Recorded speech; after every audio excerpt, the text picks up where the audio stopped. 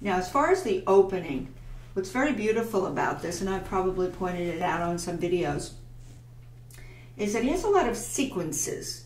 And when you have sequences, you the sequence to whatever you're doing, whatever you play first, and then you have a sequence to it, you have to respond to that. Um, what I mean is, and it's a harmonic response as well as a melodic response.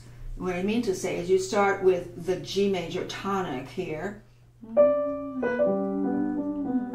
dominant.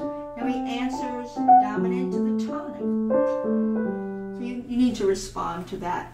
Um, if you play measures one, two, and three into four all the same, you haven't really responded to the sequence.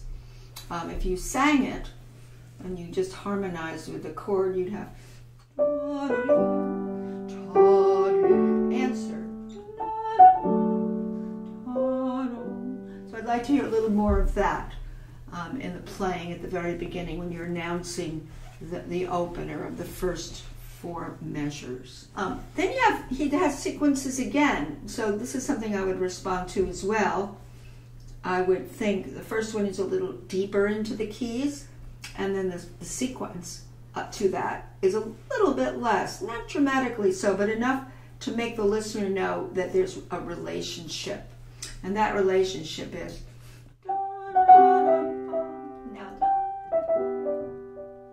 make it slightly less. So now you're a little deeper in the keys on the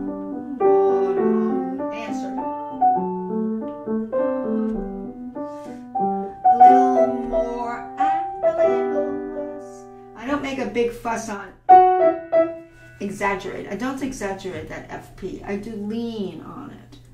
Now here's where the beat has to stay with what you started with. You, one other thing, I know I'm kind of throwing a lot at you. Another thing is that left hand, and I think you do it pretty well, that rolling uh, Alberti bass that has to be uh, not any lumpy bumpies, but very smooth.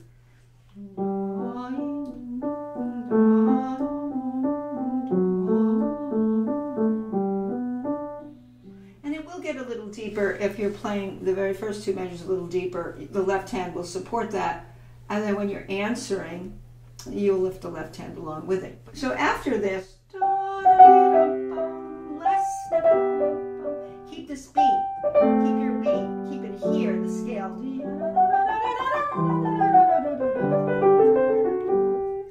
So what happened with your playing was this started to get slower than your opening beat. So take note of measure eight and nine as having to stay with the beat that you defined when you opened up the the movement.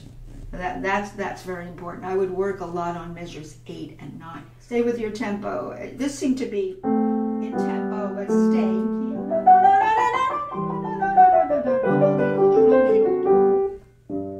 Make sure you taper, and I think you did on your second beat there. Um, now it's the same thing. Here come the sequences again. Here comes an octave lower, what you said above. On high G, you're saying on what would be treble G here. Less. I did make that less. Now you're back to your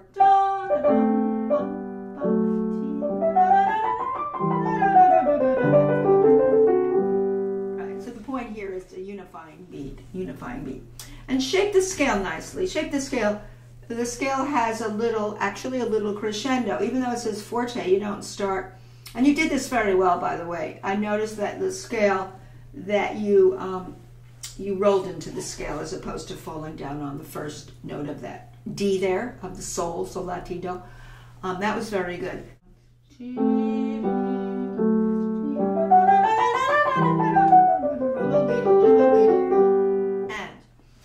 Okay, now this is a tricky little place. Um, what happened in this next section? This, by the way, is all part of the so-called first theme. The second theme only comes when you're in the dominant of the key, right? You know that. Um, this was pretty good here, but what happened with the rests, they, they were a little too long.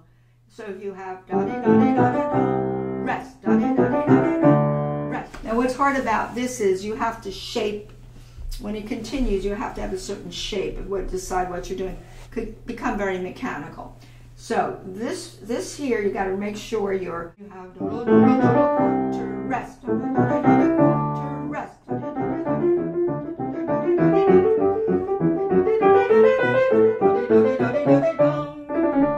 Now what most pianists do with it, I noticed you just played a straight D. It says trill, and um, more often than not, that is played as what's called a turn, like this, really quickly. And it's on the beat. Rest. That's usually what's done. If you choose not to do that, you can make sure that D doesn't hammer down too loud. I think it came down a little too loud on that second beat, when in fact, the first beat gets the prominence here. The first beat gets yum less. Even though that you've built it up to a forte, you don't want to spring so hard into a second beat. In any case, no matter whether your overall dynamic was forte, you still taper on a second beat like that. As far as shaping this, you really will have to shape as this is a continuous pileup of of the motif of doodle doodle deedle dum, deedle deedle deedle dum. Now you have long streams.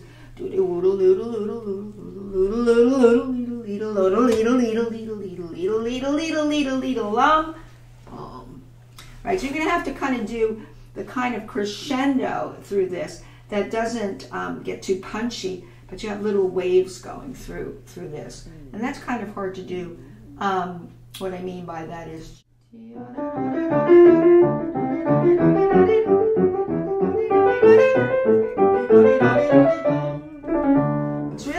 Interesting is inside of this, you have little resolutions from dominant to tonic. And if I go slowly, you'll see, you th we think we're in C major for a moment here. Here's the tonic. Now we're G major dominant, tonic. So you have to do same thing, dominant. You have to dip where you have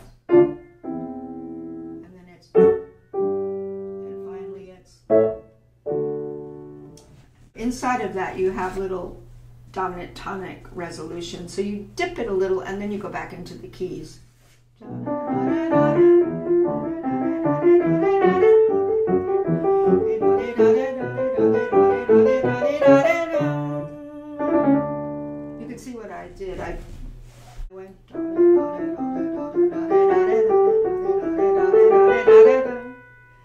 My wrist went a little forward. It, it, you have to shape it so that it, you, you shape down these little places where you hear the harmony going from dominant to tonic throughout this spill out of sixteenths. Now when we get to the second theme, which is in the dominant key, um, make sure your right hand, which is, in, in syncopation to the left, it's on the offbeats, is make sure it flows horizontally. It's a scale sol, fa, mi, re, do, up to that point. And you want it to just side down. You want the left hand, I would practice left hand just very, very smoothly first. Make sure you're hearing these notes that are moving.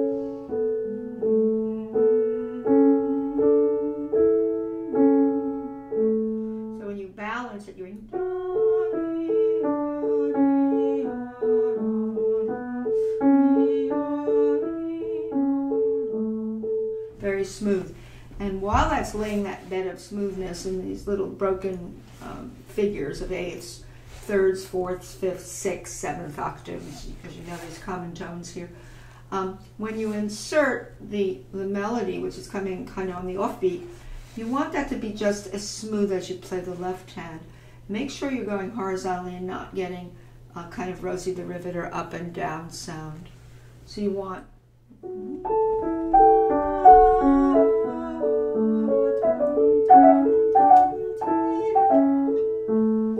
Smooth.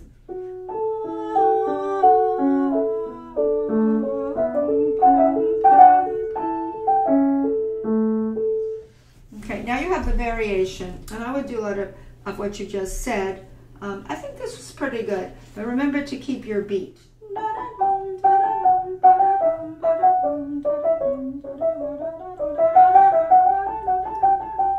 Here you're going to need these rotations. Oh, slowly.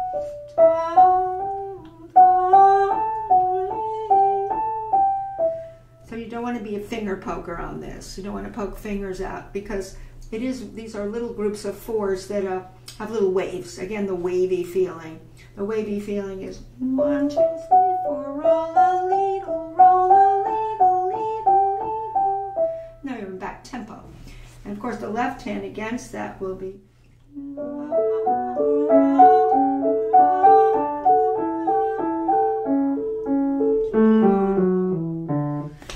Suddenly gets louder, um, but I would again roll it down. Roll it down. Everything's rolling motion.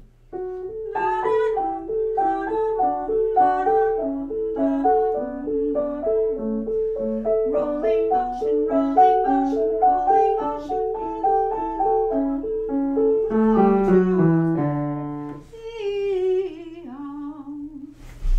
Always use the vocal model.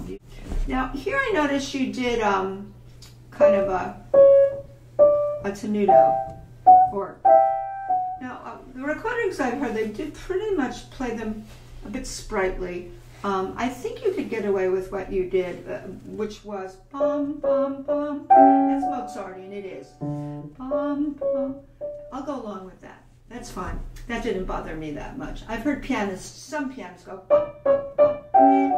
Um, some take it very literally, and some do what you did, and I don't object to that. Um, but make sure you're keeping your beat. We're slow tempo and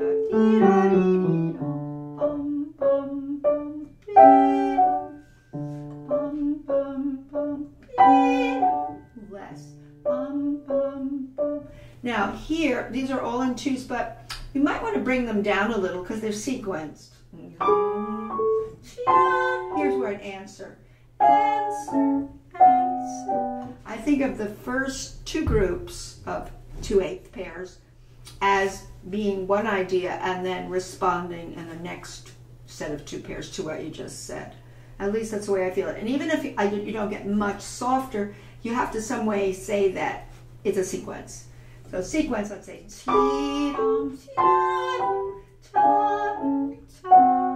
that's how I do it. I'm going very slowly.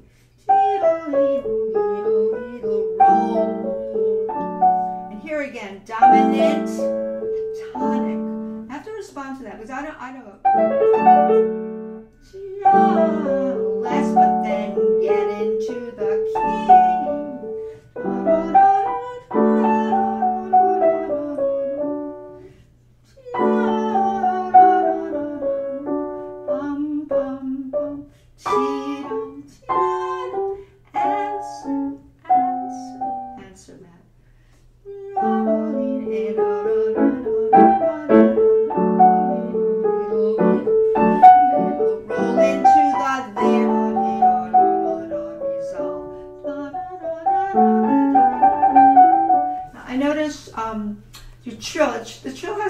Measured um, so it works. It's a very hard play, so we go slowly.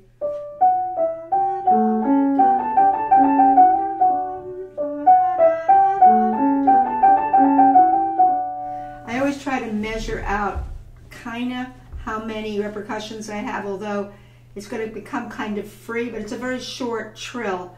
And so you do have to know when it begins and when it ends. That, that was something I noticed. Um, so sometimes you have to try what it is fast to see how many repercussions you are capable of doing. Yeah, I do a little bit of extra ones because I'm going fast, but I would practice it first slowly.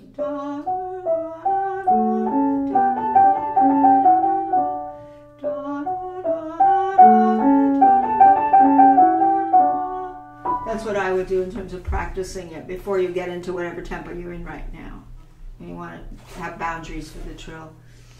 Um, so once you come out of the trill, and I'm playing it this very slowly now, you have a counterpoint, of course.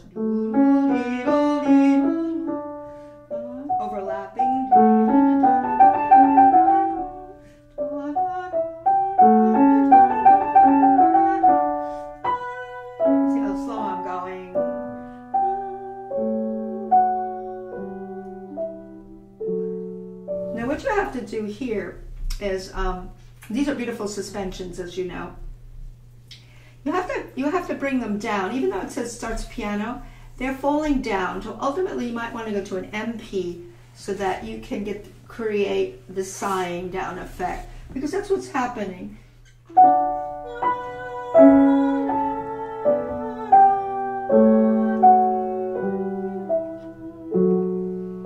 I brought them down. I brought them down. You have to bring them down. And they also have to be very, very liquid and smooth.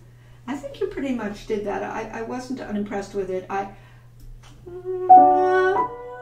use your wrist. I know I'm going in and out of tempos, but I'm just trying to show you maybe how how the wrist works here.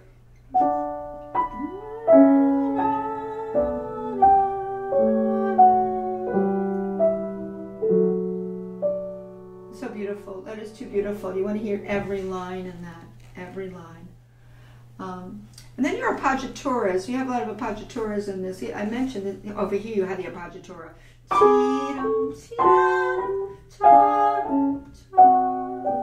I go forward with my wrist on the second of, of the pair, on the second note of the pair of eighths, the second little third. I do go forward with my wrist, and that helps to shape it nice. So whenever you have these appoggiaturas, um, do it that way so that here you have a little bit forward, forward. Now this is a variation of this when you did this, right? And you know the harmony is six chord, five chord, four chord, three chord, So that's quite beautiful. Just that sequence of progressions are, are gorgeous with suspensions even more gorgeous, gorgeous like here. Resolve. Here, solve.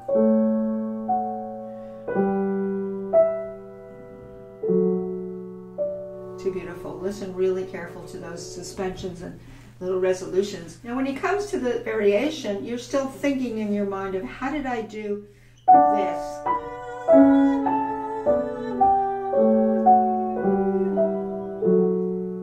So really rippling through that same thing with these extra little notes inserted in little steps.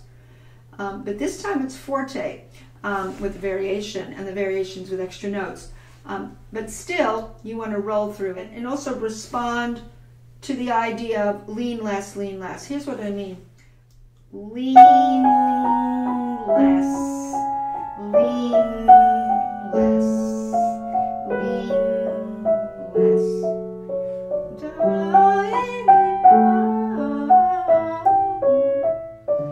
do that.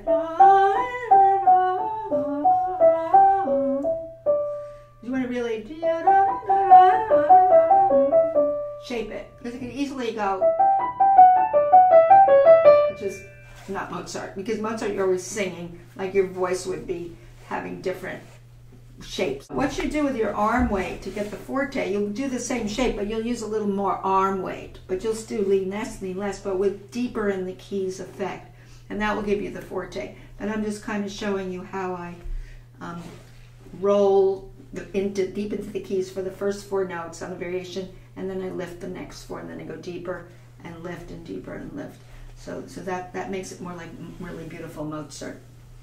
Um, over here on this cadence, oh, this is another thing. Whenever you have these cadences, just now on that D, don't thump on them. Make sure they're tapered. I think many times you did taper, but once in a while that you would hear um, an accent where your where your phrase is resolving, which is right there. So you got to be careful about that.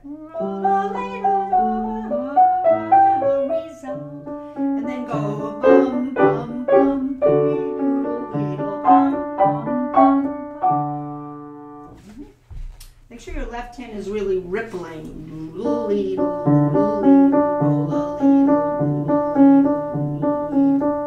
Yeah, no, no poking fingers. Okay, now on this next page, um, I want to make sure you do the ornaments correctly. The ornaments are pretty quick. They're ta-da, da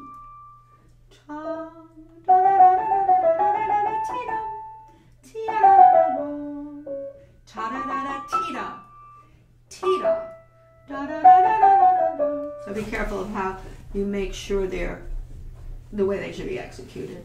So.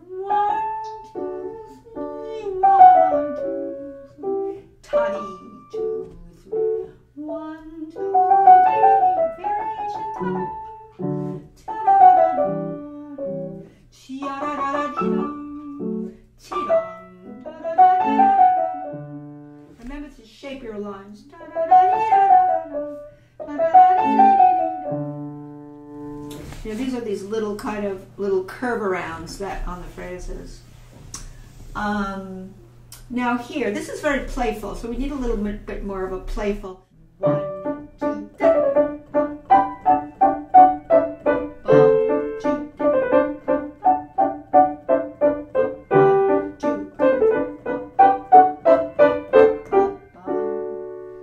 Okay, so um, we did this well. This bothered me. What you did here, um, you this transition. You need to shape this better. I think what happened is the beat changed here. The beat did change. Instead of hearing the beat that you had established on this page or throughout the piece was was somehow changing. We had some stretching that we didn't need. Just straight. Just play with coming back. Okay, so make sure that little solo, which is a little transition, that it stays within the realm of a steady beat that you've established. Now we're back to the um, theme one, and now we're going to a development, a little bit of a development. Um, let's see.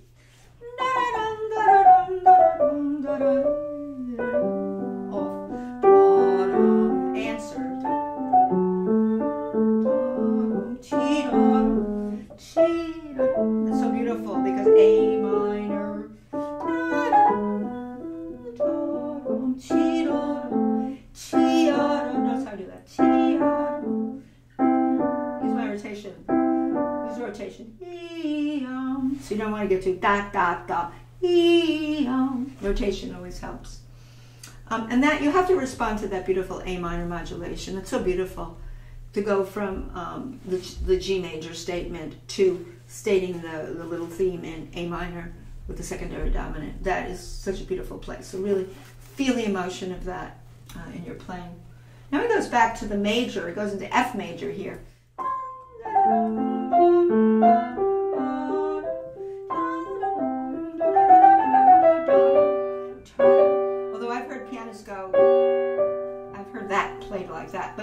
It's in keeping with all the other ornaments, it would be tia, rest. Now don't forget, da da da da da to rest, to rest, da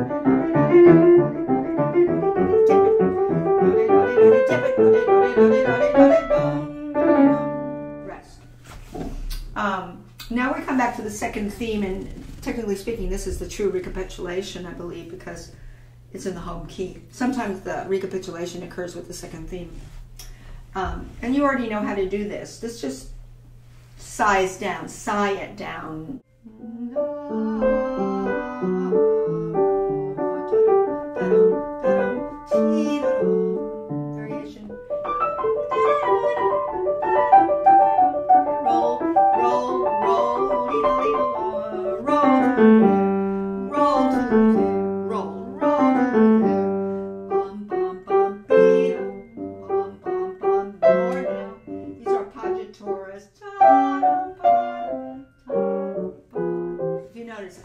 To do respond to the sequences, bringing them down. You don't have to.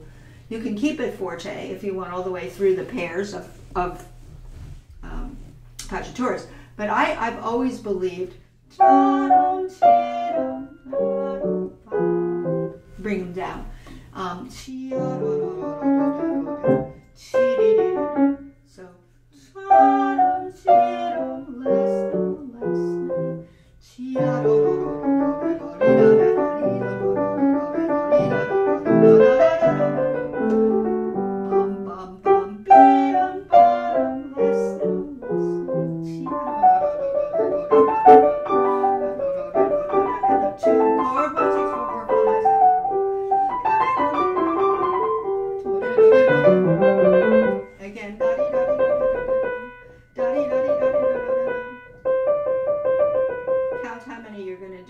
then you might have a little extra one if when you're going fast, you'll squeeze in an extra one. But I would try to measure it again